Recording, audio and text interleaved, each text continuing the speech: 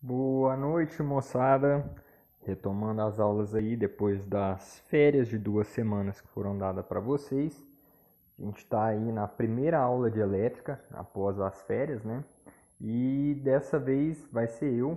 É, a última aula foi o Eliseu, por motivos é, pessoais.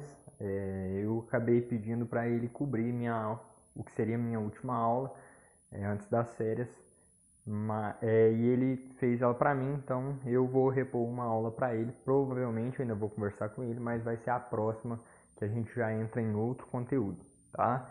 Essa vai ser a nossa última aula da parte de elétrica. A gente está fechando hoje aí a eletrodinâmica e a gente já vai partir para a parte de calorimetria, que é a parte da termodinâmica, tá joia? É, a aula passada, né, o Eliseu comentou com vocês a respeito de força magnética, movimento de cargas em um campo magnético e sobre força magnética sobre um condutor retilíneo e sobre fios paralelos. Que tem que usar a regrinha da mão direita, é, regrinha da mão esquerda, é, faça bom vestibular, né? E usa o polegar, o indicador e o dedo médio. Então, foram conteúdos da aula passada, a aula é essa antes das férias, tá? Quem tiver aí um pouco perdido, dá uma olhadinha lá no YouTube de novo para estar tá retomando isso, tá? Então, hoje a gente vai fechar aí a parte de eletromag, eletromagnetismo, falando desses tópicos, é, esses quatro tópicos essenciais, que é indução eletromagnética, fluxo magnético, lei de Lenz e transformadores. Tá joia? Primeiro, vamos retomar o que seria a regra da mão direita. Ela é uma regrinha, né, utilizada para auxiliar na definir o sentido do campo magnético produzido por uma corrente elétrica, certo? Para sua utilização, deve considerar os dedos como se envolvesse os fios e o polegar no sentido da corrente. Você já deve ter visto isso com Eliseu em aulas anteriores, ou até mesmo na escola de vocês, mas está aí uma representação só para a gente retomar, para ficar claro, para ninguém se perder, porque a gente vai estar tá usando muito ele, principalmente na parte de lei de Lenz, tá? Então, ó, vocês vão usar os quatro dedos da mão, sem ser o polegar, no sentido da linha do campo magnético e o polegar vai indicar o sentido da corrente. Tá joia? E aí vamos partir para indução eletromagnética. O que, que é a indução eletromagnética? Nada mais é do que o surgimento de corrente elétrica quando um condutor está submerso numa região que o campo magnético varia, ou seja, existe um fluxo de linhas de campo magnético que não é constante, eles variam e essa variação produz uma corrente, tá? Isso foi descoberto lá atrás o cientista Worsted, tá? Ele estava mexendo com algumas bússolas e ele mexia essencialmente, ele pesquisava a parte de eletricidade e acidentalmente ele deixou uma bússola perto de uns fios que ele estava trabalhando, né, com uma tensão. E essa tensão ele percebeu que mexeu a bússola, fez a bússola é, variar sua direção. E aí ele percebeu a existência de uma relação de elétrica com magnetismo, da eletricidade com magnetismo, dando origem assim ao início do, do estudo sobre eletromagnetismo, essa união dessas duas áreas, digamos assim, né? eletricidade, até então, diziam ser independente, era uma, um conteúdo próprio. E o magnetismo também totalmente independente da eletricidade. Até que essa bússola é, se moveu houve ali uma variação de tensão, houve uma passagem de corrente elétrica num fio e essa corrente, essa tensão provocou um, uma variação nas linhas de campo magnético e mexeu nessa bússola. A partir de então, eles começaram a estudar os fenômenos eletromagnéticos, ou seja, os fenômenos magnéticos ligados à eletricidade e vice-versa, fenômenos elétricos ligados ao magnetismo, tá? Então começou aí, é, Ørsted foi o primeiro, a primeira pessoa que teve o contato assim, mesmo que dizem que é acidental, mas ele foi o primeiro. Depois teve aperfeiçoamento de algumas experiências, alguns enunciados com Faraday. Depois veio o Lenz e teve Newman também, tá? Que pesquisou essa área aí. A gente vai ver é, nos próximos slides que foram pessoas importantes para estar tá formulando, para estar tá aperfeiçoando a, essa, essa descoberta, esse conteúdo para chegar no que a gente tem hoje em dia, tá? A indução eletromagnética é importantíssima porque é a partir dela que as usinas hidrelétricas, outros tipos de usinas, funcionam. Por exemplo, uma hidrelétrica, quando a água cai, ela move a turbina. A turbina por si só tem ali dentro é, ímãs. Esses ímãs é, em movimento geram campo, né?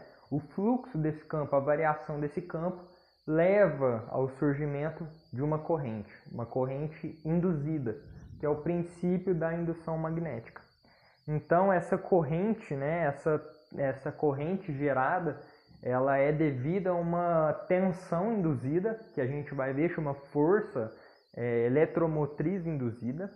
Se vocês retomarem aí, o, relembrarem o conteúdo que a gente viu, tinha força eletromotriz e força contra-eletromotriz elas é, eram oriundas, né? tinham origem de geradores e receptores e nada mais é do que a tensão.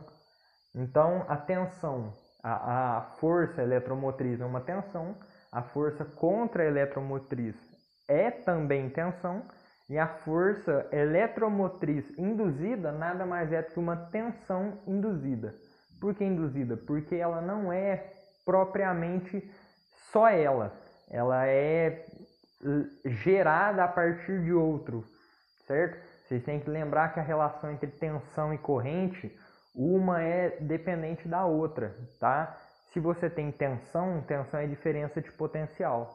Se tem diferença de potencial, tem passagem de corrente elétrica entre os filamentos, entre é, o circuito. E vice-versa. Você pode deduzir que se tem tensão, diferença de potencial tem corrente, e se tem corrente, tem a diferença de potencial. Então, tá aí uma ilustração. Se você aproxima o ímã de uma bobina, um solenoide, por exemplo, você tem a origem de, um, de uma corrente que pode ser representada aí pela. Só um minuto. Aqui, ó. Pelo amperímetro aqui, ó. Esse aparelho ele serve para medir né, a intensidade de corrente elétrica. A gente já viu isso em aulas anteriores. E vocês podem perceber, ó, nessa imagem, o fluxo né, magnético, as linhas de, de campo sairiam né, daqui e elas causam uma. Perdão, sair. Elas causam um, o aparecimento de corrente elétrica. E prestem bastante atenção que esse detalhe é importante. Nessa primeira ilustração mais à esquerda, a setinha aqui do, do amperímetro indica o lado mais à esquerda. Ó. Estão conseguindo notar isso? E nessa outra imagem, no qual o ímã foi afastado da espira, é, a setinha está no sentido contrário. O que, que significa? Significa que ao aproximar o ímã, o sentido da corrente vai ser contrário ao sentido da corrente caso a gente afaste o ímã. A corrente induzida por essa parte magnética, por esse fluxo de linhas de campo, ao aproximar tem um valor e ao afastar tem o mesmo valor, só que com sinal oposto. E o sinal serve somente para indicar justamente essa direção contrária tá?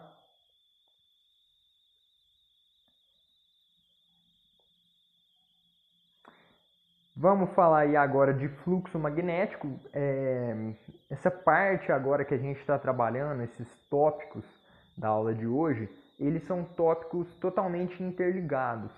Então, antes de preparar essa aula, eu pensei muito o que, que eu poderia passar primeiro, porque cada tópico depende um do outro. A partir do momento que a gente vê os três como um todo, vai dar para perceber essa conexão, essa dependência de um do outro, tá? Então, qualquer ordem que eu passasse aqui poderia causar um entendimento.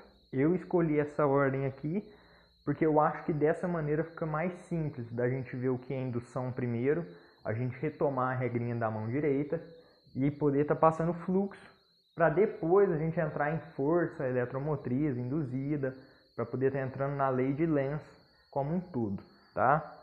Tá, a gente vai falar agora do fluxo magnético e é uma grandeza física, né? Ela é responsável por medir, mensurar a quantidade né, de linhas de campo que atravessam uma área. Então vocês vão ter a relação aí de linhas de campo sobre uma área. Qual seria é, a quantidade, é, a densidade de linhas de campo, digamos assim? É um grosso modo dizendo, porque vocês sabem, assim como a gente viu na, lá, na eletro, eletrostática, e tá, viu aqui agora em magnetismo, é, as linhas elas têm uma densidade dependendo da proximidade do ímã ou afastamento. O que eu quero dizer com densidade aqui agora não é essas linhas em relação ao ímã, mas essas linhas em relação à área que o ímã atravessa. A área que as linhas é, cruzam, certo? Que o, as linhas magnéticas é, tocam naquela determinada área, certo? A unidade é dada em Weber, tá? Ele foi um estudioso aí da área também. Ou Tesla por metro quadrado, que relaciona a parte de campo magnético e área. A partir dessas unidades já dá para descobrir mais ou menos o que é a fórmula, né? Vai ser B, que é o campo magnético, vezes a área em metros quadrados. Seu valor varia de acordo com o ângulo entre as linhas de campo magnético e a reta normal da área analisada. Galera, importante isso aqui. É, a fórmula é simplesmente B vezes A?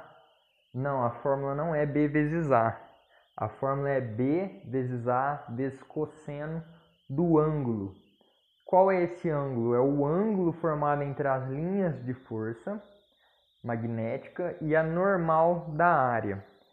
Vai ficar talvez um pouco complexo de explicar, porque isso é uma definição é, mais de ensino superior, porque esse cosseno ele vem de um produto escalar, tá? É, não é passado em ensino médio, mas eu posso dizer que ele é essa fórmula bem dizer aplicada. O módulo de um, módulo de outro, cosseno entre eles. B vezes A, cosseno entre B e A. B as linhas e A a, a, a normal a essa área. E o que seria essa normal? Vamos revisar aqui. Ó. A reta normal a uma superfície é uma reta cujo ângulo com a própria superfície analisada tem um valor de 90 graus. Ou seja, uma reta perpendicular à super, superfície. É uma reta, galera, que sai da superfície em direção é, vertical dependendo da, de onde está a superfície, claro, mas pensando no plano do chão que a gente está.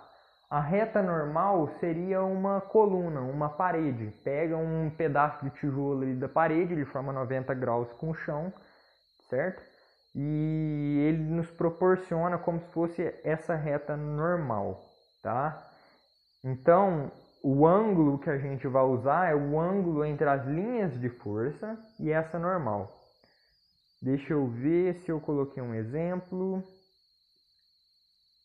Aqui, ó. Por exemplo, essa super, superfície, ela é o que?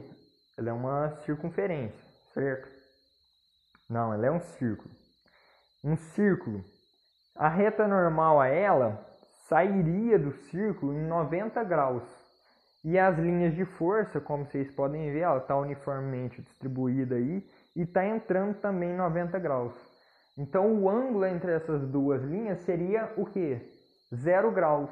Cosseno de zero a gente sabe que é 1. Então a gente teria um dos casos particulares que a gente vai ver, que é quando a, o fluxo magnético é máximo, que é quando o cosseno entre é, desse ângulo é zero. Quando o cosseno é, é zero, no caso sendo o ângulo 90 graus, né, você pode considerar essa superfície como se ela tivesse não em pé, como vocês estão vendo, mas deitada, certo? Vou tentar fazer um desenho aqui, ao invés dela estar tá dessa forma, como a gente vê, ela está deitada, porque aí a reta normal dela vai estar tá saindo, certo? Faz um ângulo aqui de 90 graus e as linhas de campo magnético, o fluxo magnético, né, para a gente determinar, estão a 90 graus também dessa reta normal. O cosseno de 90 é zero. Vocês percebem então que o fluxo magnético não tem linha de campo atravessando essa área, porque são perpendiculares à reta normal. E aí qualquer variação tá, desse ângulo causa variação do fluxo magnético. Então, seu valor, sua intensidade, esse fluxo, ele é totalmente dependente do ângulo. De tal forma, galera, que muitos mecanismos de geração de tensão, de corrente induzida, é, eles funcionam a partir da rotação dessas superfícies. Porque o que, que acontece? Quando você rotaciona essa superfície, ele vai ficar indo de 1, 0, menos 1, menos 1 até 0 de novo e 1 de novo. Isso vai nos lembrar o que? Uma é, é uma, um gráfico característico que a gente vê que ele tem exatamente esse formato. É um gráfico realmente da função cosseno. Cosseno de zero, aqui eu comecei errado, né? mas seria 1. Depois ele vai para zero, menos 1, zero de novo, ponto máximo, o neutro, o mínimo retorna ao neutro, o máximo. Então, é, quando a gente vê aparelhos que geram uma tensão induzida, que geram uma corrente induzida, como é o caso que eu já citei das hidrelétricas, funciona exatamente assim. A rotação daquela da turbina que eu falei tem um ímã que produz a corrente e a tensão induzida e produz justamente por estar em rotação. Quando está em rotação, esse ângulo fica variando é, infinitamente entre 0, 90 e 180 e fazendo, cumprindo o ciclo trigonométrico. A gente sabe que o ciclo trigonométrico, quando ele está em valores múltiplos de 90, ele segue padrões de 1, 0, menos 1, 0 e 1, que é para cumprir a volta completa. Então, essa é, corrente, essa tensão induzida, ela fica variando dessa forma como está o gráfico que eu desenhei, que é exatamente a maneira como a tensão, é, a voltagem, né, a grosso modo dizendo, a DDP, a diferença de potencial, chega nas nossas tomadas. É, eu comentei, se eu não me engano, em aulas anteriores, que quando a corrente, a tensão é gerada lá nas usinas, ela não chega uniforme para a gente. A gente tem na nossa tensão 127 volts. Mas essa tensão de 127 volts, ela não é uniforme. Ela não é, por exemplo, uma, um gráfico que mantém aqui nesse valor de 127. Ela é justamente um valor médio, tá? Por quê? Porque quando a tensão sai da usina, e até chegar à nossa casa, ela tem que passar por processo de retífica, de transformação, de redução. Tem todo um trabalho ao redor dessa tensão. Então, ela tem que ter valores máximos e mínimos, que a partir do momento que passa um filtro nela, esse valor fica mais ou menos constante, que é o que a gente vai utilizar nos nossos aparelhos, tá? Se esse valor variasse, os nossos aparelhos viveriam ligando e desligando ao mesmo tempo. O que acontece é que antes de chegar realmente à nossa casa, à nossa tomada, é passado um filtro, tá? Um uma, um método de deixar esses valores somente positivos. e é o que reduz essa voltagem. Tanto que os postes, esses fios que ligam um poste, é, o poste né, que liga um fio no outro, é, eles, a tensão dentro deles é na casa de mil é, volts e o que chega para a gente é na casa das centenas, né? Nos fios é na casa dos milhares e nas nossas tomadas é na casa das centenas, tá joia? Voltar ali na parte de fluxo, usei aqui, opa, usei aqui para a gente poder estar tá explicando um pouco mais.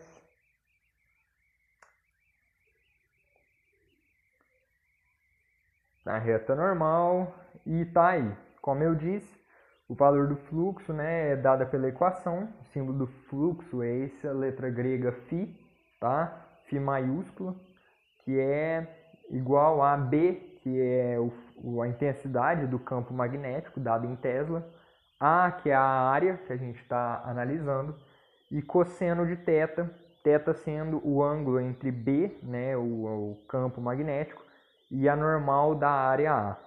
Tá joia?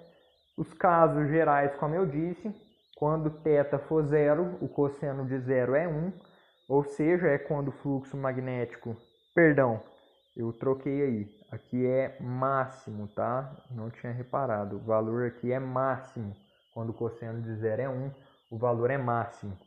Já quando θ é 90, o cosseno é zero, ou seja, não há variação das linhas de campo, foi o que eu disse lá quando eu mostrei, seria como se a superfície estivesse deitada e as linhas de campo estivessem passando na horizontal. O ângulo entre a normal e as linhas de campo magnético formariam 90 graus. 90 graus o cosseno é zero, é o valor é, que não há variação das linhas de campo. E já o θ sendo 180, né, o cosseno de 180 vai dar menos 1, o fluxo magnético atinge o seu valor agora sim mínimo. E lembrando, no ciclo trigonométrico, né, se a gente for cumprir uma volta completa, o cosseno de 270 continua sendo zero e o cosseno de 360 é igual ao cosseno de zero, que é 1. Então fica realmente naquela variação, naquela é, função cossenoidal que varia no valor é, neutro, né? 0, 1, 0, menos 1, e vai fazendo aquelas oscilações, certo? A gente tem o que eu comentei até anteriormente, é, é só mais para mostrar a maneira de calcular, porque isso já deve estar implícito, já deve ser é, já deve ser deduzido de certa forma, né? É, a gente é literalmente induzido a pensar nisso, né? Que é nessa força eletromotriz que é gerada é, a partir do surgimento de corrente. Como a gente viu na indução, né? É, quando a passagem de um ímã gerando fluxo, gerando variação do campo magnético, gera uma tensão induzida, gera uma corrente induzida. E assim como eu disse, tensão e corrente são totalmente dependentes. Você não pode falar de tensão sem falar de corrente e não pode falar de corrente sem falar de tensão. Para existir a passagem de corrente elétrica, o fluxo de, de, de elétrons em um filamento, em um circuito, a gente necessariamente tem que ter uma diferença de potencial, uma tensão. A diferença aqui é que essa tensão ela não é originada é, por outros meios. Ela é originada a partir do magnetismo do, desse, desse ímã, desse fluxo de correntes, essa variação do fluxo de linhas de campo, tá joia? Essa variação gera a corrente induzida e, ao mesmo tempo, simultaneamente, é gerada uma tensão, uma DDP, uma força eletromotriz induzida. Por isso tem esse nome, tá joia? Mas nada mais é do que uma tensão. Para calcular esse valor, aí sim a gente vai aplicar é, como a gente descobre esse valor da tensão. A gente vai utilizar aí sim aquilo que eu comentei, a dependência desses conteúdos. Por isso que não dá para definir uma ordem muito certa, a gente vai ter que ficar indo e voltando a todo momento. é, a gente vai ter que utilizar a parte do fluxo magnético, que foi o que a gente acabou de ver, né? É, Para calcular então, é, a gente vai esse Ezinho, né? A letra grega, ele é representado, ele é a força eletromotriz induzida, representado por esse Ezinho, a letra grega, e é dado, claro, tensão, né, DDP em volts, o variação né, do fluxo magnético, esse delta φ aí, dessa vez φ minúsculo, é dado em Weber ou ainda assim Tesla vezes metro ao quadrado. E sobre delta t, o intervalo de tempo é realmente um fluxo, né? De, de é um fluxo do fluxo, digamos assim. É, eu já comentei em aulas anteriores, quando eu, se eu não me engano, quando eu falei de DDP, que era, ou então de corrente, né, que era o fluxo de elétrons, que nada mais era a quantidade de elétrons que passava por uma taxa temporal, por um intervalo de tempo. Então, tudo que é dividido por tempo, a gente pode falar que é uma variação temporal, um, um certo tipo de fluxo, né? Então, nesse caso, é o fluxo do fluxo. E a gente tem o sinal negativo na fórmula, que ele indica, né, o sentido da força eletromotriz induzida em oposição à variação do fluxo magnético, que a gente vai entrar agora mais aprofundado, que é sobre a lei de Lenz. Tá? Preciso explicar porque ela puxa parte da indução, ela é, é pegando aí é, conceito da indução e ela é aplicado na regra da mão direita que a gente viu tratando justamente aí desse fluxo, dessa oposição ao fluxo, certo? Bom, a lei de Lenz é um enunciado teórico e aprofundado da lei de Faraday, ou também chamado lei da indução, que nada mais é do que aquilo que a gente viu, a indução eletromagnética. É, de acordo com essa lei, né, a força eletromotriz induzida por uma variação de fluxo magnético sempre será formado de modo a se opor a essa variação. É, lendo assim, falando assim, é um pouco complexo de deduzir, porque de deduzir não, de entender, assim, é, dizendo, porque são palavras que não estamos é, habituados e de termos muito técnicos, né? Você fala de uma força eletromotriz induzida, pô, nada mais é do que uma voltagem, uma tensão. É o fluxo, variação de fluxo magnético. Falando assim, você pensa que é algo mais, mais complexo. Nada mais é do que a variação das linhas de campo magnético, né? É formada se opor a essa variação. O que, que quer dizer, galera? Para a gente ter um fluxo, digamos, constante, passando por uma bobina, por um solenoide, por exemplo, você precisa ter um equilíbrio. Se está saindo linhas de campo, você precisa gerar linhas de campo para manter aí a balança no equilíbrio. Se está entrando linha de campo, você tem que fazer sair linha de campo para poder manter também em equilíbrio, tá? Então, o que, que a lei de Lenz diz?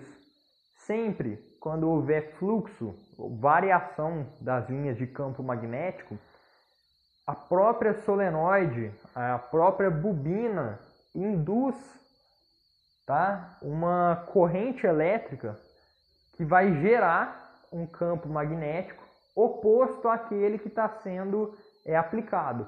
Se está entrando, vai acontecer uma corrente elétrica que vai fazer o campo sair para manter esse equilíbrio. Se está saindo, a corrente elétrica vai ter o sentido de modo a fazer o campo magnético é, entrar, certo? E é o que a gente vai ver melhor. Tem umas ilustrações aqui, é, usei para explicar, mas outra, outro conteúdo né, anterior, mas agora vai ficar claro. Olha só o desenho. Aplicando a regrinha da mão direita, reparem bem como a mão está posicionada.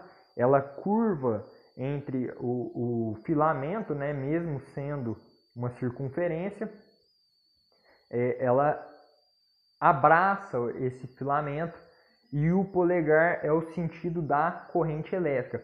Por que que está nesse sentido e a mão não está no sentido oposto? percebam que o ímã está se aproximando tá? da área que a gente quer estudar, do solenoide, do filamento. Então, ele está provocando um aumento das linhas de campo magnético entrando por, esse, por essa área, ou seja, o fluxo está variando de modo a aumentar. Só que o que eu falei, o fluxo tem que manter o quê? Um equilíbrio. Então a corrente elétrica gerada tem que se opor a esse fluxo.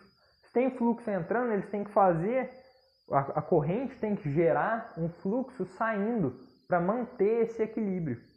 Então, se a gente fosse aplicar, assim como está na imagem, a regrinha da mão direita, qual teria que ser o sentido da corrente elétrica para que o fluxo né, de linhas de campo magnético seja oposto àquele gerado? Resumindo, o que, que eu teria que fazer para, bem dizer, anular essa variação brusca de linha de campo magnético? Olha a quantidade de linhas entrando nessa, nessa área mostrada. Vocês concordam comigo que teria que ter, para manter o equilíbrio, linhas saindo dessa área para a gente conseguir manter mais ou menos o equilíbrio, certo? Manter o equilíbrio de, de linhas entrando e linhas saindo? Vocês concordam que o sentido dessas linhas tinha que ser oposto ao que está entrando? Se está entrando no sentido aí, está indo para a direita, as linhas tinham que ser indo para a esquerda, certo? Se a gente aplicar a regra da mão direita, lembrem, os dedos indicadores, é, indicador, o dedo médio, o anelar e o último, é, dedo mínimo, né? Que a gente chama de mindinho aí, é, eles teriam que apontar no sentido oposto ao de entrada. Eles teriam que ir para a esquerda, segundo o nosso desenho. O, esses dedos, esses quatro dedos indo para a esquerda e abraçando o filamento, né? Para onde estaria a corrente elétrica? Certo? Para onde estaria? No sentido do polegar. E o polegar aponta para cima. Vocês concordam comigo? Olha aí o desenho, ó. Vocês estão vendo aqui o polegar apontando para cima? Então, nesse caso, a corrente elétrica vai estar tá no sentido que anti-horário, tá? Ela tá, deixa eu apagar aqui, ela tá vindo nesse sentido aqui, ó, no anti-horário, porque a mão abraçou ali o filamento e o indicador apontou para cima. Se está para cima, quer dizer que ela faz a volta completa aqui é, nesse filamento, né? retornando e passando dessa forma de modo a se opor é, às linhas de campo que estão entrando. Então, galera, lei de Lenz nada mais é do que isso. A corrente induzida, tá? a força eletromotriz induzida, ela deve ser tal que as linhas de campo se oponham às de origem, tá? Se está entrando, as linhas de campo têm que sair. A corrente elétrica tem que acompanhar esse sentido de saída pela regra da mão direita. Se está saindo, a, a, as linhas de campo têm que entrar para manter o equilíbrio e pela regra da mão direita tem que ser mantido essa ordem, tá joia? Olha só, nesse, nessa imagem a gente vai ter quatro exemplos, todos eles considerando os mesmos campos, né, norte norte, nesses dois primeiros à esquerda e cima e baixo, é, norte entrando e norte saindo, e no da direita é, sul é, entrando e sul saindo, certo? E aí vocês vão reparar que está na explicação corretamente nos próximos slides. Eu vou até passar para já deixar claro o que, que é cada setinha. É, na imagem, o campo magnético do ímã está escrito em azul, tá? Então, se colaborar aqui, ó, o campo magnético B está escrito em azul, tá? Prestem bastante atenção. Caramba. Aí, ó, campo magnético em azul, tá? Esse é o campo magnético do ímã, tá? O campo magnético induzido está escrito em vermelho. Então, galera, podem reparar que sempre quando a gente trata de entrada, tá? Quando a gente trata de entrada, independente do polo ser norte ou sul, reparem que sendo entrada, ó, entrada, sigam a seta V, quer dizer a velocidade e qual o sentido dessa velocidade de entrada ou de saída. Reparem que a seta V entrando, o campo magnético induzido pelo ímã, campo magnético induzido e o campo magnético do ímã sempre vão ter sentidos opostos. Vocês conseguem reparar isso? Perdi a caneta.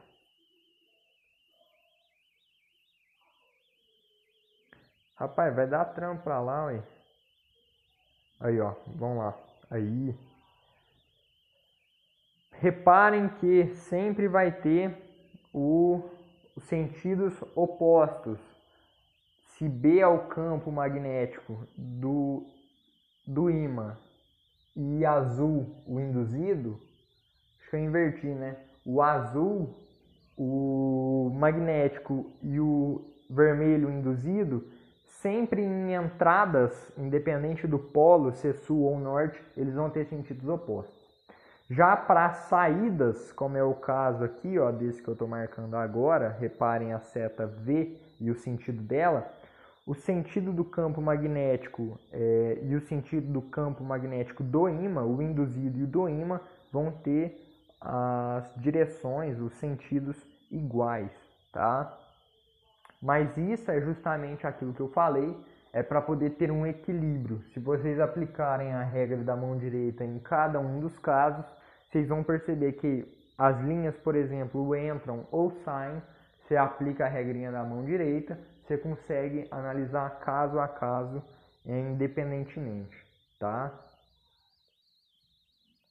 Tá, a explicação que eu falei, né? Imagem do campo magnético do ímã em azul, e o campo magnético induzido nas bobinas está escrito em vermelho. E para finalizar essa parte de eletromagnetismo, a gente já começar termologia, é, termodinâmica, a gente vai falar agora de transformadores, tá? Transformadores de tensão, eles são aparelhos, como o próprio nome diz, né? Que mudam, alteram o valor da tensão. É muito comum quando a gente vai viajar em algum é, beira de litoral, né? Beira de, de, de rodovia, assim, de, de mar, praia, litoral mesmo. É, as voltagens, as tensões lá serem diferentes. Se alguém já queimou algum aparelho aí, isso é normal de acontecer. Normalmente acontece muito com carregador de celular, os carregadores antigos que não tinham, não eram bivolt, secador de cabelo, chapinha, outros aparelhos do tipo, certo? É, já aconteceu comigo, eu estava numa praia, se eu não me engano era em Ubatuba, por exemplo, né? Acho que foi lá mesmo. E minha irmã acabou levando a, o secador de cabelo. Primeiro dia que chegou lá, foi secar o cabelo, lavou o cabelo, foi secar, colocou na tomada, não aguentou, tá? Porque era 110, colocou em 220. Se é um 220 colocado em 110, o aparelho ainda aguenta, mas ele trabalha com a potência reduzida. Agora, se é um aparelho 110 numa tensão de 220, ele recebe mais tensão do que ele aguenta, então ele acaba queimando. Para que isso não aconteça, existem né, os milagrosos, os salvadores chamados transformadores. Eles servem para fazer essa correção tá, de tensão e não deixar os aparelhos queimarem, por exemplo. E como é que funciona um transformador? Ele tem um núcleo central, tá? Ele é formado por um objeto imantado que possui é, um material condutor que ele é espiralado, tá? É uma bobina no seu lado é, que a gente chama de lado primário, né? e a gente tem é, outros filamentos também conectados a esse material que ele é do outro lado, lado oposto, que a gente chama de lado secundário, tá? Uh, tá aí, como tá mesmo dizendo aí, é aparelho destinado à redução ou aumento da tensão, né? Serve tanto para diminuir quanto para aumentar. Ele serve, na verdade, aí como grosso modo, como o próprio nome diz, né? Para transformar, independente se redução ou aumento, né? E, como eu disse, é constituído de um núcleo, material imantável, duas bobinas, número de espiras diferentes e isoladas entre si, chamada de primário, né, que recebe a tensão da rede, e de secundária, que sai a tensão já transformada. É, seu funcionamento é baseado na criação de uma corrente induzida, por isso ela é o último conteúdo passado. A gente tem que ter visto já essa parte de indução, de lei de Lenz, lei de Faraday, é, todo o conteúdo assim é, já visto para poder entender o funcionamento. A tensão é, que passa, né, o objeto, por que, que ele tem que ser imantado? Porque na verdade o objeto imantado ele é um ímã, né? Então se ele existe a passagem de corrente elétrica por um ímã, ele gera uma tensão, uma força eletromotriz induzida. Essa força eletromotriz induzida percorre todo o material e acaba saindo nos outros filamentos de saída, né? nos solenoides secundários, nas espiras secundárias. Então, a depender da quantidade de, de espiras de, do lado primário e do lado secundário, a gente consegue fazer essa transformação. E é até aí que a gente consegue fazer uma relação de funcionamento, de redução ou aumento do, da tensão nos transformadores. A tensão do primário ela é proporcional ao secundário na mesma proporção em que o número de espiras, tá? o número de voltas do primário em relação ao secundário. Ou seja, se eu fizer a fração a tensão do primário dividido pela tensão do secundário, esse mesmo valor é a razão, é a proporção entre o número de espiras do primário e do secundário. Tá joia? É, tá aí, né? É, a partir da variação do fluxo, a tensão de entrada e de saída são proporcionais ao número de espiras em cada bobina, sendo aí essa formulinha, né? O U de P, a tensão do primário sobre a tensão do secundário, é igual ao número de espiras primário sobre o número de espiras secundário. Tá joia? É... Fim da apresentação, né? Então, galera, nossa aula de hoje foi isso. Assistam com bastante calma, com bastante atenção. Quem chegou até aqui o final, parabéns é uma aula de conteúdo muito pesado. Eu tinha pensado de dar uma adiantada no nosso conteúdo e já passar o começo da, da termodinâmica, da calorimetria, tudo mais ainda nessa aula. Só que preparando essa aula, eu percebi que o conteúdo era muito pesado, que a aula já ia ficar um pouco extensa, né? apesar de a gente ter gastado aí 43 minutos, que a aula ainda assim ia ficar muito extensa, o conteúdo era muito pesado que a gente precisava dessa aula é, o mais bem detalhada, o mais é, completa possível, foi o que eu tentei fazer, certo? É, eu sei em algumas partes eu falei rápido, eu fiz alguns desenhos aí meio no improviso, mas é, acredito que tenha dado para entender. Se não foi possível entender, quarta-feira que vem não se preocupem, a gente tem monitoria. Vou deixar a listinha é, para vocês a partir de amanhã, que eu ainda estou selecionando, alguns exercícios para a gente estar tá resolvendo, tá joia? É, então a partir de amanhã, quinta-feira, é, a lista já vai estar tá com vocês. Façam a lista, não vai ter muitos exercícios, até porque assim como Eliseu falou na última aula dele, né? O conteúdo, por mais que ele seja chatinho, ele seja denso, ele seja um conteúdo pesado, difícil de entender, pouco palpável no nosso dia a dia, né? Esse conteúdo é mais teórico porque a gente utiliza. mas a gente não sabe o funcionamento interno dos aparelhos, a gente vê mais o externo, né? É, por mais que ele seja esse tipo de conteúdo, quando ele é cobrado em vestibulares, ele é cobrado uma parte mais teórica. Então, eu não vou ficar cobrando de vocês que vocês saibam a fórmula, a aplicação. Eu quero que vocês tenham, assim como eu digo desde a minha primeira aula, eu quero que vocês tenham o conteúdo teórico muito bem fundamentado, muito bem estudado. Porque se você tiver o conteúdo teórico é, enrustido no, no, no seu estilo de resolver questão, no seu modo de analisar a questão, você consegue se sair dele, mesmo que você não saiba, não tenha decorado todas as fórmulas, certo? Vamos focar aí na parte mais teórica. Tentem é, assistir de novo a aula se for preciso. Retomem alguns tópicos aí. Se vocês acharem que eu falei rápido, é, assistiu de novo, não consigo entender. Quarta-feira a monitoria não vai ser só de exercício, podem tirar dúvida teórica também, tá? E a gente vai se falando qualquer coisa no meu WhatsApp, qualquer meio de comunicação, e-mail, está disponível, podem me chamar, tá? E bons estudos a todos. Eu espero que essas férias, mini férias, né, duas semaninhas, tenham sido bem proveitosas para vocês, tanto para quem estava atrasado no conteúdo, poder dar uma retomada, quanto para quem usou para dar uma descansada. É, quem quer ser aprovado no vestibular tem que fazer sua parte de estudar sim, mas o descanso é fundamental também. Não se passe no vestibular se matando de estudar, tem que ter equilíbrio em tudo. Tá joia? É, galera, no mais, bons estudos, reta final aí, agora pra frente, vamos pegar firme. Eu sei que saiu o resultado aí da, da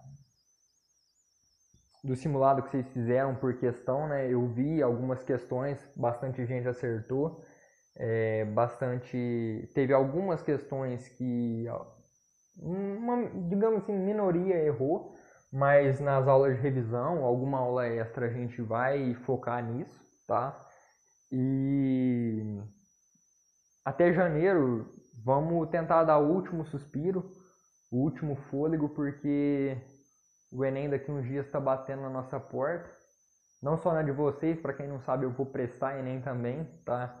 Eu tô com vocês nessa, então vamos nos preparar à medida que, que for possível e vamos pegar firme porque daqui uns dias já está na hora da, da prova mesmo, tá?